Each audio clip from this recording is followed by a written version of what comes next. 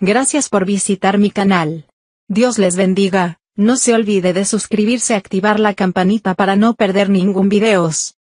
Tenemos más videos de historias, noticias, y advertencias interesantes en la vida cotidiana. Gracias por su apoyo y por compartir bendiciones. Se queda solo con sus tres bebés recién nacidas tras la pérdida de su esposa y pide justicia. Hay ocasiones en la vida de las personas en las que los sentimientos se entremezclan, y es difícil manejar emociones como la alegría y la tristeza.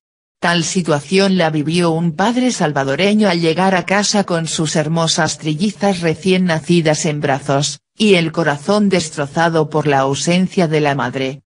Hugo Alberto Vicente y Erika de Vicente formaban una humilde pero hermosa familia junto a su hija de 5 años, vivían en la colonia Vista Linda, del cantón Plan del Pino en el municipio de Ciudad Delgado en El Salvador. Pero pronto se enteraron de que la familia se agrandaría. Erika estaba embarazada, y no de un bebé sino de tres. A pesar de la enorme responsabilidad que representaba, los esposos estaban emocionados.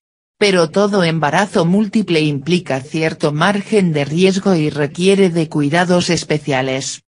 Erika fue ingresada al hospital para realizarle una cesárea, y el 01 de mayo nacieron las trillizas, Ana Zafiro, Andrea Nicoye y Ariana Giselle.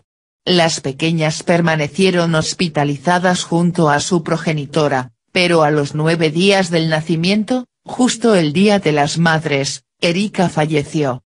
La noticia devastó al padre, tenía que sacar fuerzas para asumir solo el reto de sacar adelante a sus hijas.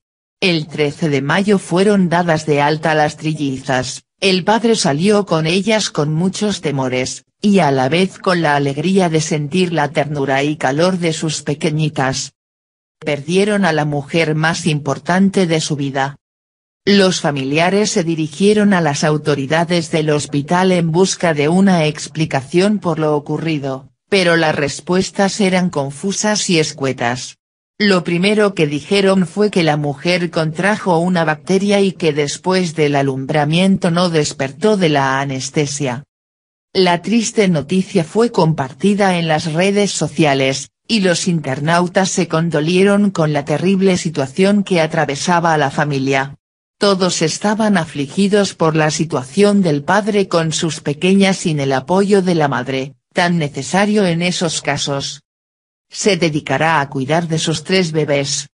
Qué gran prueba tendrá este hombre en medio de esta crisis, Dios le brinde fuerza y esperanza en su camino que de seguro será muy duro, dijo un apenado usuario. No obstante, fueron surgiendo algunas versiones extraoficiales que aseguran que en realidad la causa de la defunción obedeció a un ataque cardíaco, y algunos parientes eran de la opinión de que el fallecimiento de la madre había sido por el coronavirus.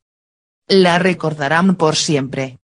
Es una gran irresponsabilidad de los médicos no informar con claridad qué fue lo que ocurrió con la madre de las trillizas, opinó un airado internauta. Elmer Cardoza, alcalde del municipio, visitó a la familia junto a la trabajadora social de su despacho y una médica, para verificar personalmente en qué condiciones se encontraban las menores, aunque las trillizas están estables siguen recibiendo tratamiento médico.